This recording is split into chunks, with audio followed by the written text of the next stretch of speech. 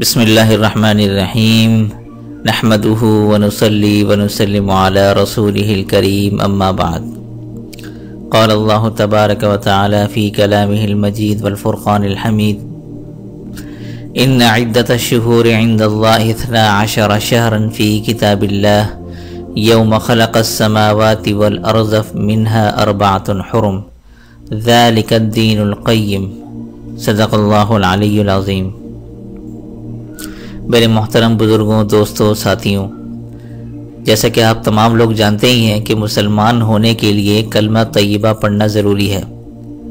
لا الہ الا اللہ کا مطلب یہ ہے کہ پوری زندگی اللہ کے حکم کے مطابق گزاریں۔ اور محمد الرسول اللہ کا مطلب یہ ہے کہ اللہ کے حکم کے مطابق زندگی گزاریں مگر طریقہ حضور صلی اللہ علیہ وسلم کا ہو۔ اس کی وجہ یہ ہے کہ اللہ رب العزت جب نماز، روزہ، زکوٰۃ، حج کا حکم دیں گے تو عمل کر کے دکھائیں گے نہیں، بلکہ حضور صلی اللہ علیہ وسلم اس عمل کو کر کے دکھائیں گے۔ چونکہ احکام شریعہ پر حضور صلی اللہ علیہ وسلم نے عمل کر کے دکھانا تھا، تو قرآن کریم نے اعلان فرمایا، لقد کار لکم فی رسول اللہ اسوۃ حسنہ تو معلوم ہوا اللہ تعالیٰ اسی عمل کو قبول فرمائیں گے جو حضور صلی اللہ علیہ وسلم کے طریقے کے مطابق ہو۔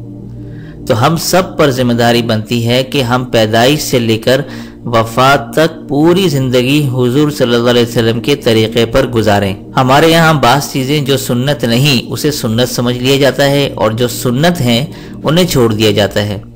اب چونکہ محرم الحرام کا موقع ہے تو ایسے وقت پر بہت ساری ایسی سنتیں ہیں جس کو مسلمان غفلت کی وجہ سے چھوڑ دیتا ہے اور بہت ساری بدعات ایسی ہیں جس کا جہالت کی وجہ سے ارتکاب کر لیتا ہے۔ البتہ اس میں کوئی شک نہیں کہ محرم عظمت والا مہینہ ہے، لیکن عظمت والا ہونے کی وجہ عام طور پر یہ سمجھتے ہیں کہ اس میں حضرت حسین رضی اللہ تعالیٰ عنہ کا شہید ہونا ہے۔ بلکہ حضرت حسین رضی اللہ تعالیٰ عنہ کی شہادت ہی نہیں، بلکہ ولادت سے بھی قبل محرم کا مہینہ موجود تھا۔ اگر ہم ایک بات کہیں تو بہت بجا ہوگا کہ حضرت حسین رضی اللہ تعالیٰ عنہ کا ایک اعزاز یہ بھی ہے کہ ان کو محرم کے مہینے میں شہادت ملی، بلکہ اس مہینے کے جو دس دن ہیں، اس کی فضیلت خود قرآن میں موجود ہے، والفجر ولیال ناشر بعض مفسرین نے لکھا ہے کہ اس سے مراد محرم کے دس دن ہیں۔ محرم کا ہی وہ مہینہ تھا جس میں حضرت نوح علیہ السلام کو طوفان نوح سے نجات ملی اور زمین پر انہوں نے قدم رکھا۔ اسی طرح حضرت یونس علیہ السلام جس دن مچھلی کے پیٹ سے نکلے تو وہ محرم کا مہینہ تھا۔ اور حضرت موس علیہ السلام نے بنی اسرائیل کو فرعون سے نجات دلائی، وہ بھی محرم کا مہینہ تھا۔ اور تو اور، حضرت آدم علیہ السلام کی پیدائش اور تمام فرشتوں کی پیدائش بھی محرم کے مہینے میں ہوئی تھی۔ تو تاریخی حیثیت سے ہی محرم کو بہت فضیلت حاصل ہے۔ ماہ محرم میں جو کرنے والے کام ہیں، اس میں ایک کام اللہ کی ذات کے ساتھ ہے اور دوسرا کام اپنے اور گھر والوں کے ساتھ ہے۔ اللہ کی ذات سے تعلق یہ ہے کہ حضور صلی اللہ علیہ وسلم نے دس محرم کو روزہ رکھنے کی فضیلت بیان فرمائی ہے اور اس کا اہتمام بھی فرمایا ہے۔ بلکہ دس محرم کے روزے کے لیے یہاں تک فرمایا کہ اس کی وجہ سے اللہ تعالیٰ گزشتہ ایک سال کے گناہ معاف فرما دیتے ہیں۔ اور ایک حدیث میں یہ بھی فرمایا کہ دس محرم کا ایک روزہ رکھنے سے اللہ تعالیٰ تیس دنوں کا اجر عطا فرماتے ہیں۔ لیکن ایک بات پر آپ حیران ہوں گے کہ دس محرم کی فضیلت بھی موجود ہے، لیکن شریعت نے کس قدر عبادات میں کفار کی تشبیح کرنے سے منع کیا ہے؟ حضور صلی اللہ علیہ وسلم نے دس محرم کا روزہ رکھا اور صحابہ کو ترغیب دی۔ جب حضور صلی اللہ علیہ وسلم کو پتہ لگا کہ یہود بھی دس محرم کا روزہ رکھتے ہیں، کیونکہ حضرت موسیٰ علیہ السلام کے دور میں ان کے آبا و اجداد کو فرعون سے نجات ملی تھی۔ تو فرمایا، آئندہ سال اگر میں زندہ رہا، تو ہم ایک روزے کا اضافہ کریں گے۔ اور صاف فرمایا کہ عاشورہ کا روزہ رکھو اور یہودیوں کی مخالفت کرو۔ اور ایک دن پہلے روزہ رکھو یا ایک دن بعد کا روزہ رکھو۔ تو اسی لیے یہ کہا جاتا ہے کہ اگر دس محرم کا روزہ رکھنا ہے تو آپ نے نو اور دس کو ملانا ہے یا دس اور گیارہ کو ملانا ہے یعنی دو دن کا روزہ رکھنا ہے، ٹھیک ہے؟ اچھا جو دوسرا کام ہے جس کا تعلق اہل و اہل کے ساتھ ہے، تو یہ بات اپنے بڑے غور سے سننی ہے، جس کا اکثر لوگ گھروں میں اہتمام نہیں کرتے۔ حضور صلی اللہ علیہ وآلہ وسلم نے فرمایا، جو شخص ماہ محرم میں اپنی ذات اور اپنے گھر والوں پر خرچ میں وسعت اختیار کرے گا، اللہ تعالیٰ اس کے پورے سال کے خرچے میں وسعت عطا فرما دیتے ہیں۔ اس کا مطلب ہرگز یہ نہیں کہ آپ دیگے بنوائیں اور اتنا خرچ کریں کہ قرض لینے پر مجبور ہو جائیں، ایسا نہیں کرنا۔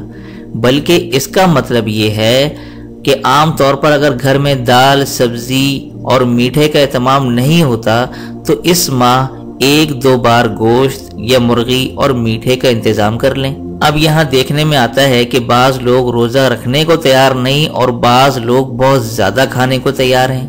تو شریعت نے مزاج کے مطابق دونوں چیزوں کا خیال فرمایا۔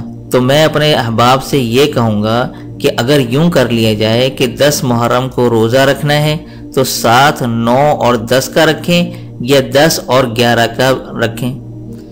تو اب چونکہ سحری بھی کرنی ہے اور افطاری بھی کرنی ہے، تو عام کھانے کی جگہ کچھ زیادہ اسپیشل کر لیں۔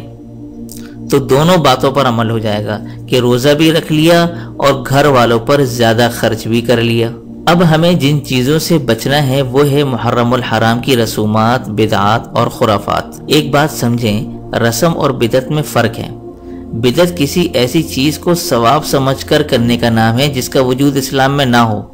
اور رسم سے مراد کسی چیز کو رواج سمجھ کر کرنا ہے۔ تو محرم کے مہینے میں جہاں سنت کا اہتمام ضروری ہے تو بدعات سے بچنا بھی ضروری ہے۔ اب ہم سمجھاتے ہیں لوگوں کو کہ ہمارے لیے بعض کام کرنا جائز نہیں ہے۔ مثلا تعزیے وغیرہ نکالنا۔ حضرت حسین رضی اللہ تعالیٰ عنہ کا ذکر کرتے ہوئے سینہ کو بھی کرنا، زنجیر مارنا، خنجر زنی کرنا اپنے چہروں کو پیٹنا، نوچنا اور خون نکالنا، یہ بالکل جائز نہیں ہے۔ کیونکہ جس طرح اللہ تعالیٰ انسان کے پورے جسم کا مالک ہے، اسی طرح اللہ انسان کے ایک ایک عضو کا مالک ہے۔ جیسے آپ سب جانتے ہیں کہ خودکشی کرنا حرام ہے، تو اسی طرح اپنے جسم کے کسی حصے کو تکلیف دینا بھی حرام ہے۔ اسی طرح کالے کپڑے پہننا بھی ضروری نہیں، آپ کوئی بھی عام کپڑا پہن سکتے ہیں اور کچھ لوگ قبرستان جاتے ہیں۔ اور وہاں جا کر قبروں کو ٹھیک کرتے ہیں اور گھاس اور درختوں کو کاٹ دیتے ہیں۔ قبرستان جانا مسلمان کے لیے جائز ہے۔ اور عورتوں کے لیے اگر پردے کا انتظام ہو تو جا سکتی ہیں، مگر جانا نہیں چاہیے۔ اس کی وجہ یہ ہے کہ عورتوں کے جانے میں مفاسد زیادہ ہیں۔ اور جب مرد حضرات قبرستان جائیں تو کوئی مسنون دعا پڑھیں، جیسے السلام علیکم یا اہل القبور، یغفر اللہ لنا ولکم، انتم سلفنا ونحن بالاثر اور آہستہ دعا پڑھیں اور بغیر قرآن لے جائے قرآن پڑھیں اور درود پڑھیں اور اصال ثواب کریں۔ لیکن وہاں درختوں کو کاٹ دینا جن کی تسبیحات سے خود میت کو فائدہ پہنچتا ہو، تو اس میں آپ نے میت کا نقصان کیا ہے درختوں کو کاٹ کر۔ اسی طرہ ایک بڑا مسئلہ یہ ہے کہ لوگ محرم میں نکاح کو جائز نہیں سمجھتے اور محرم سے پہلے اتنی شادیاں کرتے ہیں کیونکہ آگے محرم کا مہینہ آ رہا ہے۔ تو اس میں جو ہے وہ پھر ٹائم نہیں ملے گا۔ بتائیں جو کام ہمارے نبی صلی اللہ علیہ وسلم نے کیا ہو، وہ ناجائز کیسے ہو سکتا ہے؟ اور جو خلفۂ راشدین نے کیا ہو، وہ غلط کیسے ہو سکتا ہے؟ حضور صلی اللہ علیہ وسلم نے گیارہ نکاح فرمائے ہیں اور ان میں سے دو نکاح محرم الحرام میں فرمائے۔ ایک تو حضرت خدیجہ القبرہ رضی اللہ تعالیٰ سے اور دوسرا حضرت صفیہ رضی اللہ تعالیٰ سے۔ تو اور اسی طرح نبی صلی اللہ علیہ وسلم کی چار بیٹیاں تھیں۔